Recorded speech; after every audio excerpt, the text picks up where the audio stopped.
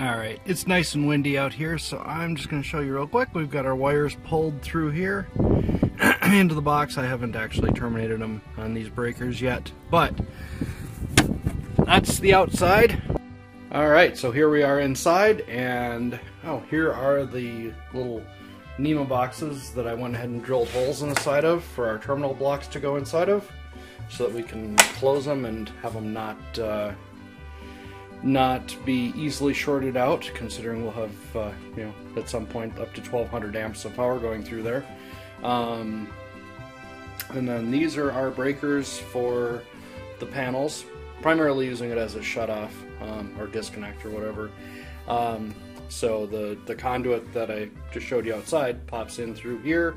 Um, I was going to mess around trying to put some convoluted tubing around this or whatever, and I thought, you know what, it's it's a less than a foot, and yeah, I don't know, maybe I'll come up with a nice way to deal with this.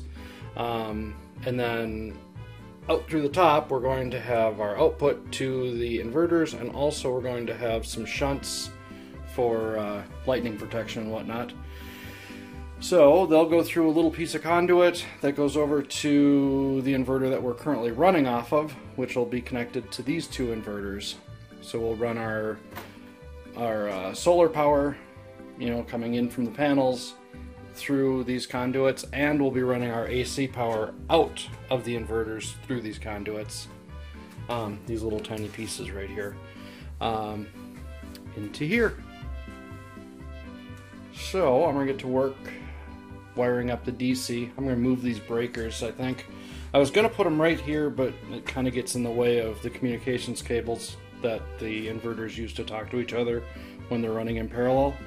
So I'm going to take these and just kind of rotate them and put them over here so then we can run our negative cable along the bottom edge of it and our positive will come out so they can run nice and neat up into right there. So I'll make some cables up and then we'll show you that. Well, here we go. Got the combiner box wired up, at least the output side going into the building. It's a little bit messier than I would have liked, but I wanted to save some of the wire in there just in case we wanted to change how we're wiring stuff up at some point. So, um, probably wire tie some of that stuff together and make it a little, little neater, but whatever. And then tomorrow we're going to pull our wire through the conduit over to the middle row, which is currently the front row, but will become the middle row once we put another row in front of it. Um, and then basically the black and white wire ones here we won't be using currently because those will go to the front row.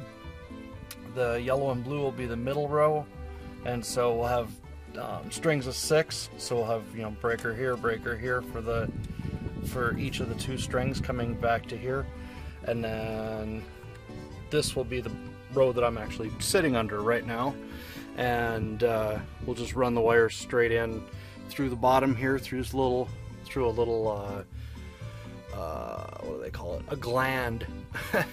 And go straight into these two breakers. And then so we'll get these wired up first tomorrow and basically leave we'll leave the middle row wired up to our current battery bank to get them charged up before we discon disconnect them. And we'll hook up the back row here to the new inverters so it can be charging the uh, forklift battery all day. Alright, so inside we've got those breakers that you've already seen, and then the rest of this stuff is all new. Fortunately, I wasn't able to find a nice uh, mounting bracket for the big ass breaker, so it's held up by wire ties right now.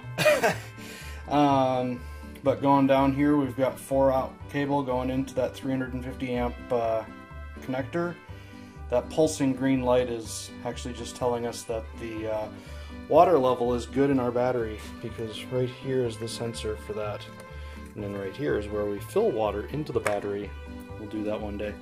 Um, anyway, so we've got 4 aught coming up to there, and then we've got 3 2 gauge coming off of there over into our um, terminal block.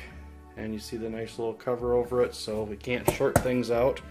Um, oh, and I'm actually getting a uh, box to put those breakers in. After saying I wasn't going to do it, then I was like, you know what? I looked, I'm like, that's 20 bucks. Yeah, we're doing that. Um, the last thing I want is some kid to be in here and touch one of those wires and get hit with 400 volts, you know? That wouldn't be good. Um, or worse, an adult. Jesus. Never trust them adults.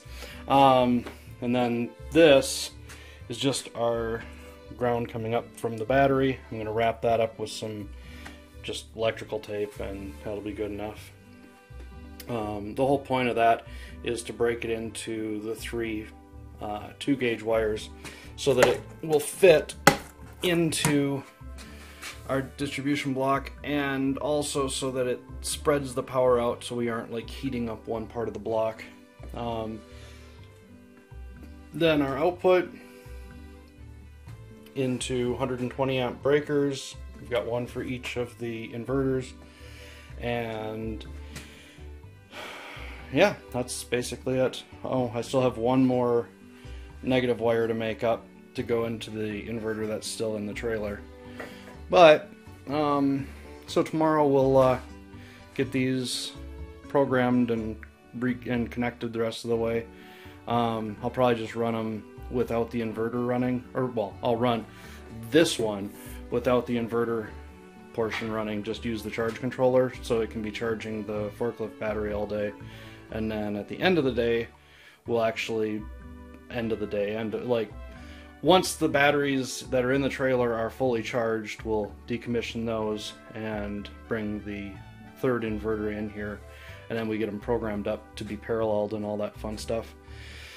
Uh, and then I'm going to bring that little transformer in here, at least for tomorrow, um, until we get our, our uh, shipping container, because, well, that's something I didn't mention. We uh, bought a 40 foot shipping container so we can store some of our junk in there and not worry about building stuff. But basically buried inside here is our big transformer and rather than moving stuff around just to get at it, we'll just use the little um, 10 kilowatt transformer and just you know set it on the floor and use it temporarily until like Wednesday when we get our shipping container and can unload that trailer.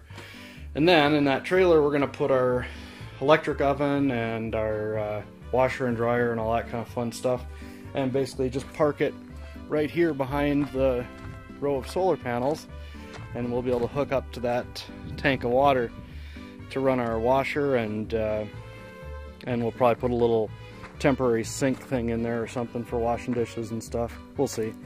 Although that might be a lot of work for something temporary. We'll see. We'll see. Or maybe we'll just build a, a cabinet for the for the sink and that wouldn't be so bad because then we can just move the cabinet with the sink in it later. Yeah, we'll see. That's a all those thoughts, you know.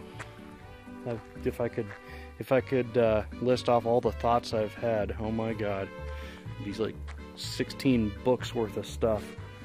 All the things I've thought of and haven't done. anyway, back to back to what we're doing here. So this is, I think, it for today, and then tomorrow we'll uh, we'll get things wired up.